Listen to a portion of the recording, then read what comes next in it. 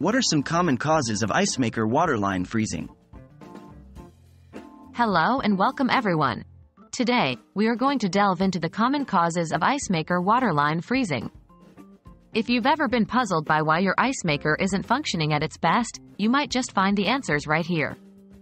Remember, understanding the problem is the first step towards finding a solution. What is an ice maker waterline? To begin with, let's clarify what we mean by an ice maker water line. This is simply the line that supplies water from your home's plumbing system to your refrigerator's ice maker. When working correctly, it provides a constant supply of water that your ice maker can freeze into ice.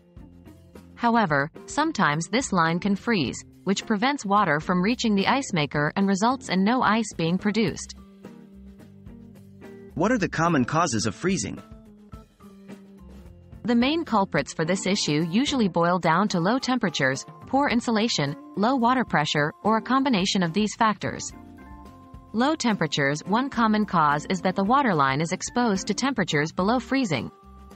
This can happen if your refrigerator settings are too cold, or if the line runs through a particularly chilly part of your home, such as an uninsulated basement or garage. Poor insulation Poor insulation of the waterline can also be a factor. If the water line isn't properly insulated, it's more vulnerable to the surrounding temperatures. When these temperatures drop below freezing, so does the water in the line. Low water pressure Lastly, low water pressure can also cause the water line to freeze. If the water isn't moving through the line quickly enough, it can sit in the line and freeze. This is especially likely to happen in periods of cold weather. How can you prevent the water line from freezing? Preventing the water line from freezing involves addressing these causes. Adjust your refrigerator's temperature, insulate your water line, and ensure adequate water pressure.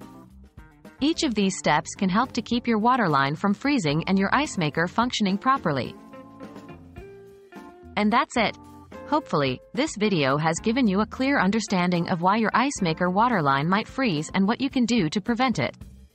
Remember, the key to solving this issue is to keep your line insulated, maintain an optimal refrigerator temperature, and ensure sufficient water pressure. Happy ice making!